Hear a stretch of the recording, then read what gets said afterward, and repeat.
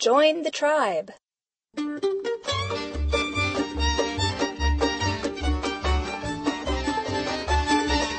Welcome to the Book of Life, a show about Jewish books, music, film, and web. I'm Heidi Estrin. The Book of Life is a podcast service of the Feldman Library at Congregation B'nai Israel in Boca Raton, Florida. Additional support comes from the Association of Jewish Libraries. What is a tribe? The thesaurus suggests an ethnic group, a caste, a clique, a family, a genus, a society. Hard as it is to define, you know it when you see it. Today, we'll explore the nature of tribes through a CD, Beyond the Tribes, a film called simply The Tribe, and a book entitled I Am My Family. Let's kick things off with a track from Beyond the Tribes by the Klezmer Company Orchestra.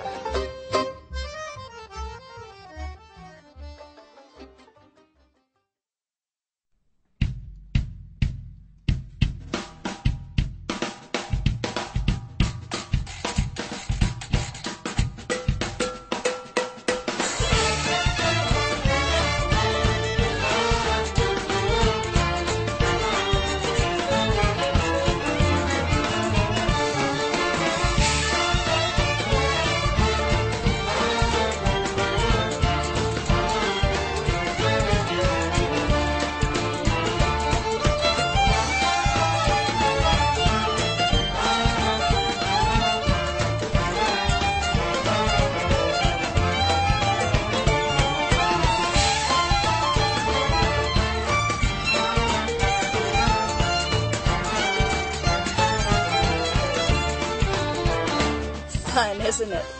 This amazing piece of fusion klezmer is called the Jew Orleans March, and it's the first track on the Klezmer Company Orchestra's CD, Beyond the Tribes. The Klezmer Company Orchestra is the ensemble in residence of the library at Florida Atlantic University in Boca Raton, a very unique relationship. They perform pieces from the library's extensive music archives, but not always in their original format, as you can hear. I visited the university to talk to the orchestra director, Aaron Kula.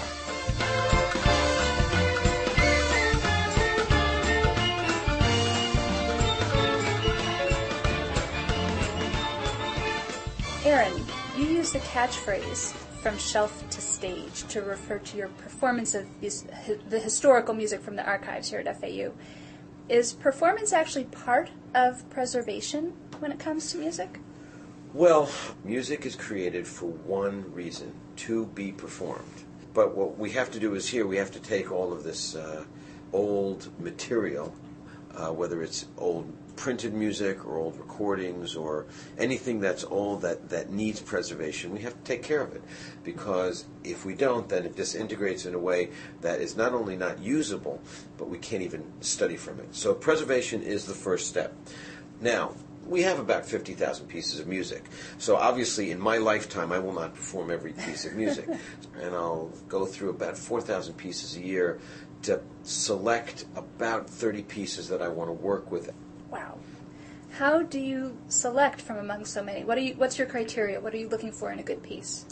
At the core, there has to be some melodic component that is useful because the one thing that I would say all Jewish music has in common, whether it's from the Arabic tradition, the European tradition, or the Mediterranean tradition, or even the Latin American tradition, is that there's always some melodic component. It may not be very long, could be eight notes.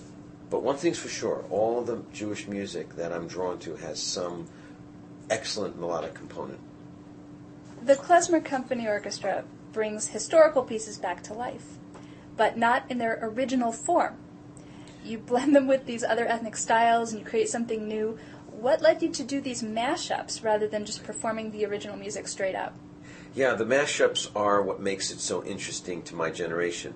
Now, there were two ways to approach this collection, and that is part A is you can repeat the music, perform it again and again as museum pieces. So we do that in the symphony orchestra all the time with Beethoven and Mozart. But um, I'm also trying to revive it and kind of re-energize the tradition so that it's relevant to my generation and even my own children's generation and by changing it, it gives the old material a new life, kind of refreshes it.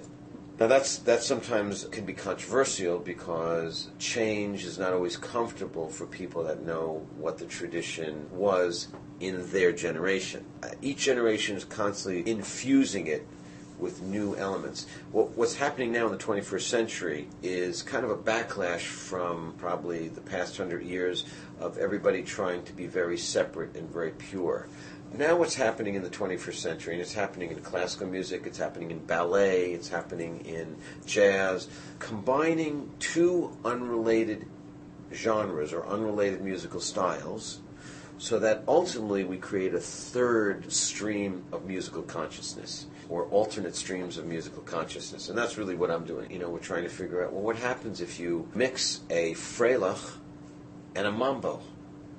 They're both rhythmic, they're both dance driven, they're both celebratory. So it's kind of interesting. I'm not really reinventing the wheel, I'm just incorporating my own generation's musical style. So tell us about the CD, Beyond the Tribes. So the CD is a combination of music from the collection, but fused with Latin, Arabic, and Eastern European styles all of it encompassing both a classical orchestra and a jazz band. I think that the diversity of the CD is very interesting. There's a ballad, then we have a, a Yiddish popular piece that was written in the 40s, but we set that to a salsa beat. Uh, then we have a Macedonian piece that uses components of a melody found in Romania, Turkey, and Macedonia and I put those all together. So it, it, it's, it sounds very complicated, and it is, but musically you could sit down and just listen to it and really enjoy the cultural diversity of the music. And the title itself, um, I wanted something that reflected my idea of diversity, interfaith relationships, and I wanted to go beyond the walls of, of expectation. And so, beyond the tribes, when a Jewish person hears the word tribes, they think it's about themselves. Oh, I'm, I'm one of the 12 tribes. All right? And that's very interesting. And then when I talk to my, my African American friends, they think of the tribes as the African tribes. And so I started realizing there are a lot of tribes out there, you know. and so if I go beyond the tribes, what was really interesting is people were asking, uh, "Are you talking about my tribe, your tribe, the Jewish tribe, the Arabic tribe, which tribe are you talking about? And all of a sudden it became kind of an interesting kind of plurality of a title. So Beyond the Tribes to me is another point of arrival for me philosophically as well. I'm trying to break down the barriers through music. Very cool. Aaron Kula, thanks so much for speaking with us. Thank you very much for these great questions and letting me uh, go on and on about my uh, my work.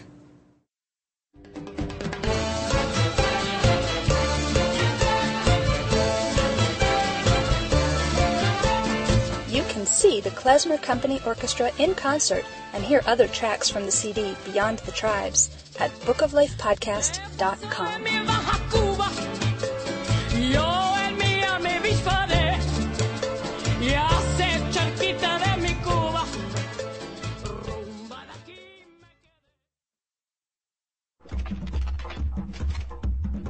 Tiffany Shlain directed, produced, and co-wrote, with her husband Ken, the short film The Tribe, a multi-award-winning 18-minute documentary that intertwines the story of the Barbie doll with the history and meaning of Judaism. Sounds like a tall order, but she pulls it off brilliantly. Here's a little of the film's introduction.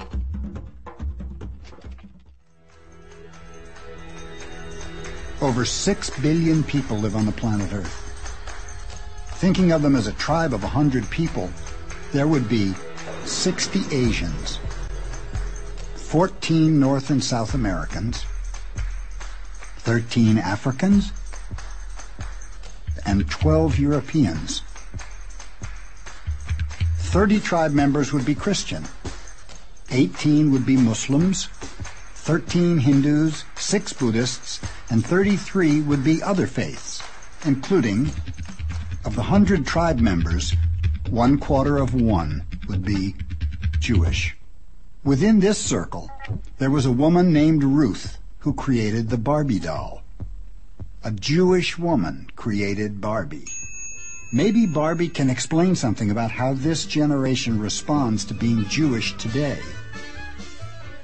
Since the old days, Jews refer to themselves as members of the tribe.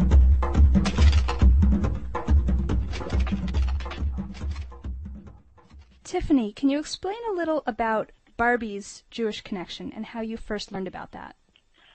Well, it was many years ago. I went to a um, an exhibition called Too Jewish, and they had information that Barbie was created by a Jew, and I thought that is one of the great ironies of the 20th century, that this Jewish woman created the ultimate shiksa, and I just thought it was so funny. Then fast forward many years, I was invited to this gathering. Steven Spielberg and Dave Bronfman invited 40 young Jewish leaders who were not engaged in their Jewishness and you know I was doing the Webby Awards and I was making films and I went kind of skeptically went because I wasn't very engaged in any kind of organized Jewish life and um I was just blown away how people just exploded in conversation about their own Jewish identity and how they just needed a forum. People were just hungry to delve into the subject of what does it mean to be Jewish today. And that same weekend, uh, Ruth Handler, the creator of Barbie, died. There was all these very long obituaries on her because she was this amazing woman, and no one mentioned that she was Jewish or from immigrant, you know, parents. And I'm like, they buried the lead. That's the most provocative part of the story. So I thought that's a great entry point into identity and assimilation. And of course, people love or hate Barbie, so she's very polarizing. So it would be a perfect way to provoke discussion. What got you interested in exploring the concept of tribe in the first place? Well, I always love the term member of the tribe. You know, most Jews feel like outsiders. And whenever someone would say, "Hey, are you a member of the tribe?" which I know is kind of an old school expression, I always loved it because you were, you belonged somewhere. And I think you know when you're Jewish and you meet another Jew, it's like you you do belong to a special club because you are such a minority. And um, I don't live in New York or LA, so when you do meet another Jew, it's very exciting. Uh, I don't know. But then I started thinking about tribe as a bigger term, like we are all part of one tribe of humanity, playing with the notion of what are different tribes like, looking at it really from an anthropological lens. Most of my films look at humans as if they're this unusual species, and I'm trying to break it down and figure us out. Mm-hmm. Well, you touched on something else I wanted to ask you. In the film, the narrator says, the essential Jewish perspective is standing outside looking in do you think we're still outside looking in? I do think it's inherent. My husband co-wrote the film with me, and in a lot of ways, the tribe, which is 15 minutes, was us attempting to boil down, you know, 10 years of our conversations talking about Judaism into 15 minutes, and he really felt like the outsider thing was a huge inherent part of being Jewish. Like we were really trying to, what does it mean to be Jewish? And even if you talk to people in in Hollywood or Wall Street, which is very Jewish as an industry, ultimately at their core, they still feel like outsiders. I think that Jews uh, throughout history have gone into new lands and tried to fit in, and now, of course, we're assimilated. And there have been many other periods of assimilation with Jews, but I just I do think it's it's just part of our history.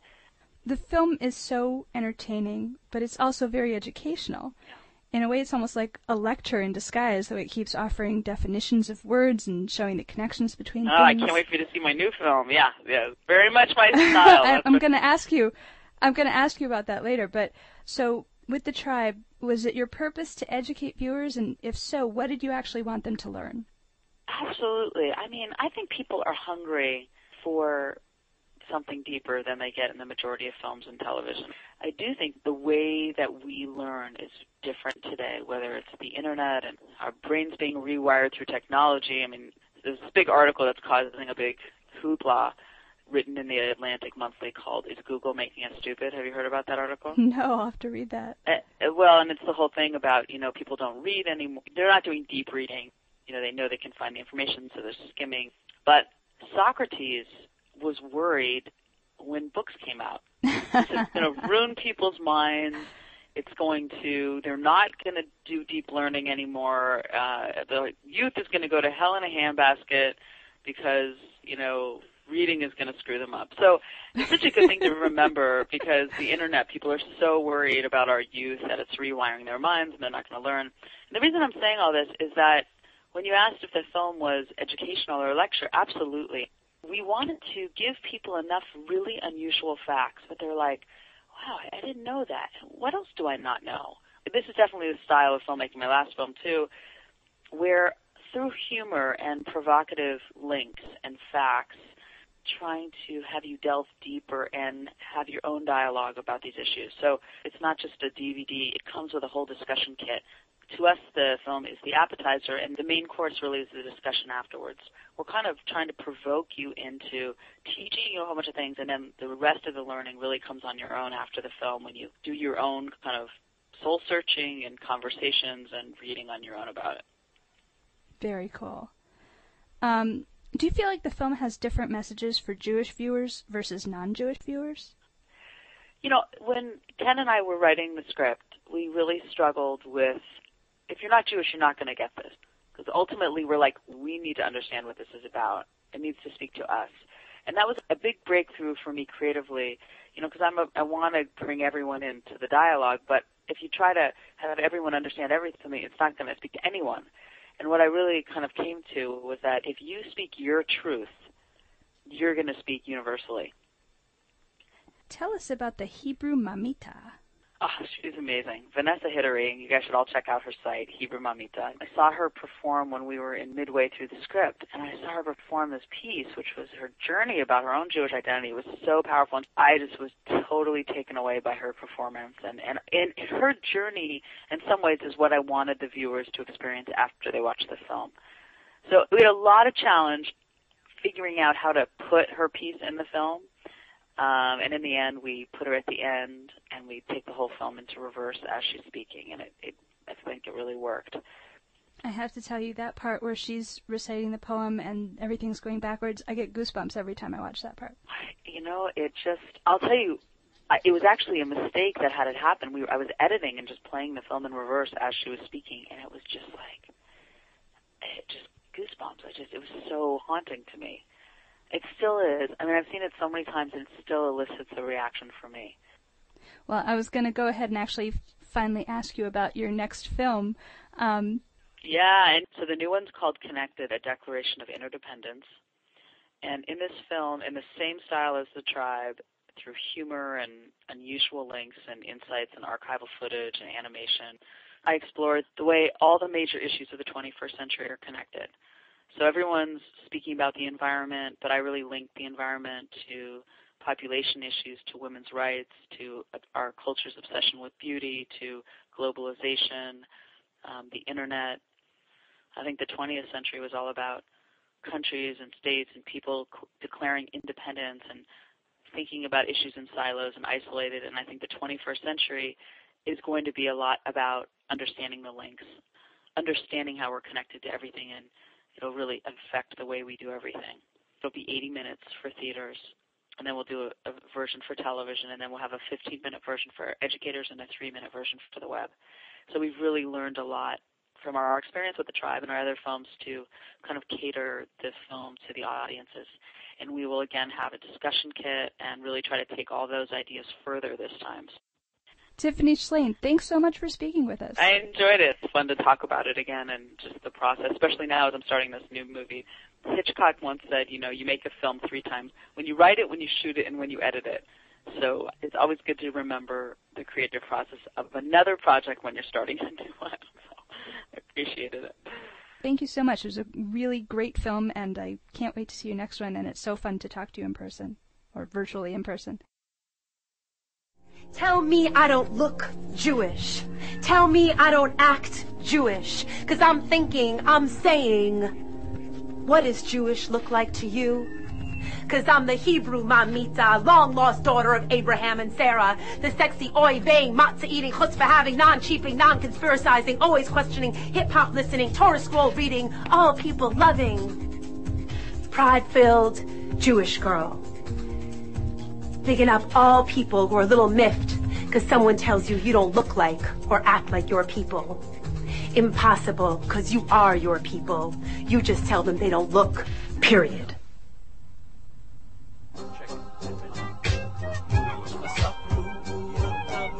Watch the Tribes trailer or the entire 18 minute film on our website at bookoflifepodcast.com.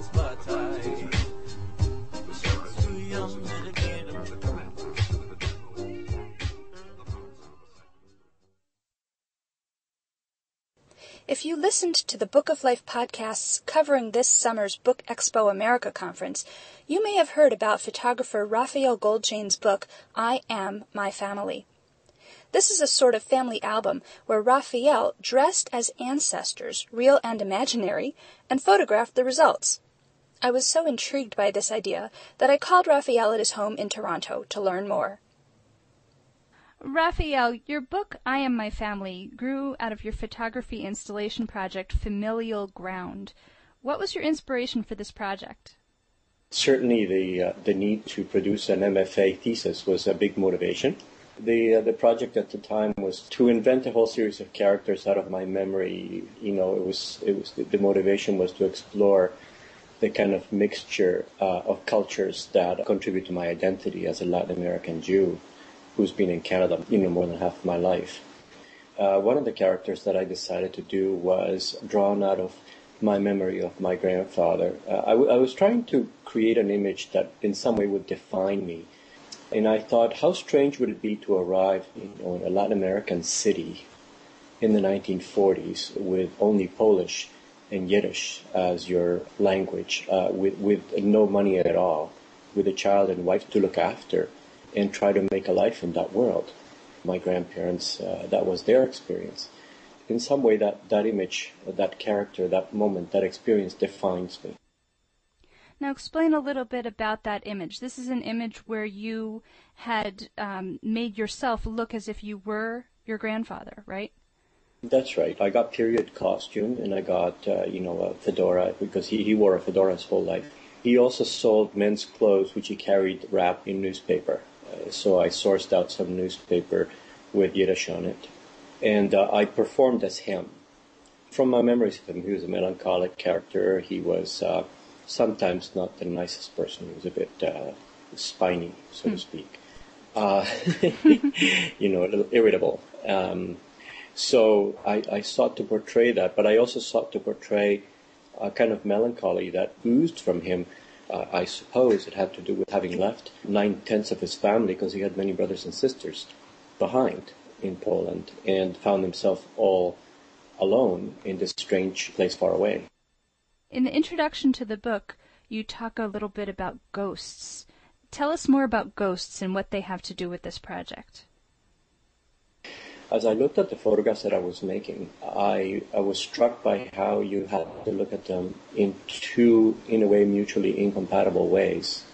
One was to see me as performer, and uh, that would be sort of in the foreground. But many people were taken by the person that I was performing and would see, quote unquote, the ancestor. And there was this flip flop between seeing me as performer or the ancestor, but not the two at the same time, if you know what I mean. There is some visual illusions that are like that, uh, trompe l'oeil illusions. And so I started thinking of the persona of the ancestor uh, in the self-portraits as, as a ghost hovering, haunting the self-portraits, and insinuating themselves through my uh, likeness, through my features. Now, some of the ancestors you've included in this collection are purely imaginary, including the man on the cover holding the chicken. Tell us about that. Why did you invent people? Um, not to be flippant or glib, but I think it was fun. Mm-hmm. and, uh, you know, I never really thought of this project as a kind of a slavish documentational project. I was really much more interested in creating a world from which I, I personally feel exiled. Living up in Canada and then living in Israel, I grew to feel exiled from Latin America. And then in my mid 40s, that world that I felt shifted from Latin America to, in a way, a, a sort of a more abstract land of uh, that sphere, that world of family. And so I sought to create that world. For the most part, I wanted to reflect the larger Jewish world as well. And uh, my father had always assured me of the fact that we didn't have any agricultural ancestors, that everybody had been white collar workers. And I did a ge- genealogical research to the extent that I could and found out that many, many people with spellings that are consistent with my family spellings came from much smaller towns in Poland. And so I figured that some of them must have raised chickens. You know, it's a fair assumption. And uh, I found a picture in a book uh, of, a, of, a, man wearing a tall fur hat, an Astrakhan hat, and holding a, a white duck. And uh, I, I really liked that picture and also looked at the man's features and I thought, I, I can do those features. My features are very compatible with his features. So uh, I set out to do that. You know, I couldn't get a hold of a white duck, um, certainly not a dead white duck. And so uh, I, I ended up with a dead white chicken and, um, and this this chicken came from a, a, study collection at the Royal Ontario Museum here in Toronto. And uh, the chicken was in, in, a pose such that it did not look alive. It looked rather dead. It was flatly posed, so I, I could only use the head part of it. Um, and uh, it, it, it, was lacking an eye, so I had to put an eye in there, which I did digitally. Uh, I stole an eye from a live chicken on somebody's website. so that's how that picture came. And once I had the picture, and once I was looking at it on the computer screen, I realized, oh my God, um, there is a real, uh, you know, um, synchronicity between my features and the chicken's features. There's, you know, there's display room, display room here. There's, I can have a little bit of fun here, and fun and creativity and imagination and memory are all things that come from the same place. And so, you know, I exaggerated my features and I made my nose larger and more chicken-like and so on and so forth. And you know, um, I just I just had fun with it. This collection is sort of a group portrait of your own family, but in a way, is it a portrait of any Jewish family or any family at all?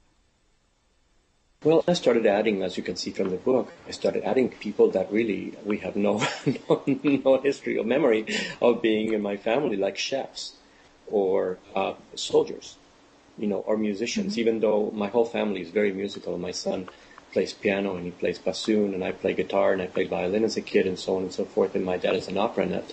But, you know, we don't remember any, any actual professional musicians in the family. So these characters, I think, stem from my desire to reflect a larger Jewish world. I, I came across a picture of a chef that I just loved, so I wanted to have a, chef ancestor. And gradually, I decided that these things reflected all the occupations, uh, perhaps, uh, that that uh, you know Jewish people uh, fulfilled. And so, in that sense, I think I was constructing a, a sort of um, a more generic kind of Jewish family. In the book's introduction, you talk about a feeling of being exiled from your Polish Jewish ancestry. How did this project, well, did it succeed? Uh, and if so, how did this project make you feel more connected with your heritage? Uh, well, the personal process of working on the book made me feel connected. I had the names before me all the time. I was uh, exchanging emails with relatives and finding new relatives and establishing connections with branches of my family that I never knew existed through this project. So that sense of connectedness uh, came from being connected with with the descendants of the people that I became interested in who are alive today. Rafael Goldchain, thanks so much for speaking with us. You're welcome. It's been a pleasure. You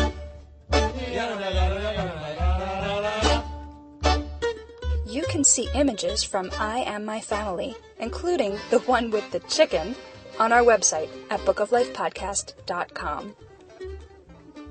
The Book of Life is a podcast service of Congregation B'nai Israel of Boca Raton, Florida at cbiboca.org and is supported in part by the Association of Jewish Libraries online at jewishlibraries.org. Our background music is provided by the Freilachmakers Klezmer String Band at freilachmakers.com. Check our guests' websites too at klezmercompany.com, tribethefilm.com, and rafaelgoldchain.com. Links are, of course, provided at our website, bookoflifepodcast.com. You can also hear the latest episode by phone at 916 313 3820. We welcome your comments and questions at bookoflifepodcast at gmail.com. Thanks for listening and happy reading.